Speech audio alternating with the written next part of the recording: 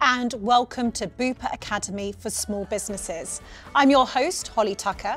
Today, I'll be discussing how small businesses can play a vital role in creating inclusive and supportive environments by supporting women's health in the workplace. We will be covering three different areas, including menopause, supporting parents, and female cancer. I'm delighted to welcome our guests, Laura Williams, Head of Partnerships Legal Team at WorkNest. Laura is a qualified solicitor and has 15 years of experience in the legal sector supporting SMEs. And Dr. Naveen Puri, Medical Director at Bupa. Naveen has 20 years experience as a doctor, working within both the NHS and Bupa.